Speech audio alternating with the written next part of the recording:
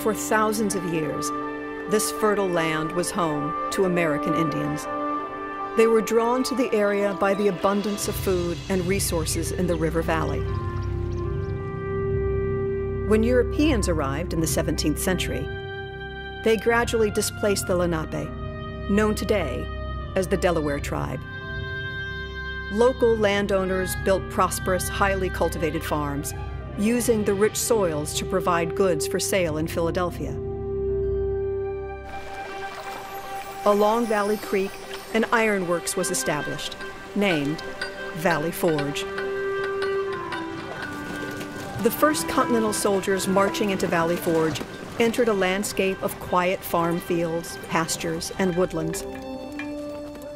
But with the arrival of Washington's army, farmers and residents soon found themselves on the front lines of a global war. Their lives were upended and their land ravaged by the sudden presence of nearly 12,000 soldiers and camp followers. Fields were trampled and polluted with hundreds of tons of human and animal waste.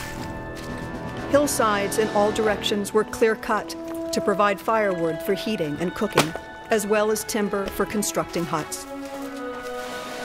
Soldiers purchased food supplies, but in other cases, supplies and livestock were confiscated or stolen. Having suffered at the hands of both Continental and British forces, local residents maintained divided loyalties. Some farmers continued to sell goods to the British. They could trust the value of the British pound versus the potentially worthless Continental scrip.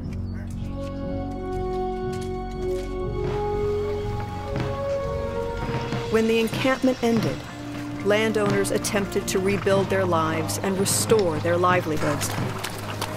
Yet it would take years for the land to recover. General Washington returned to Valley Forge 10 years later, in 1787.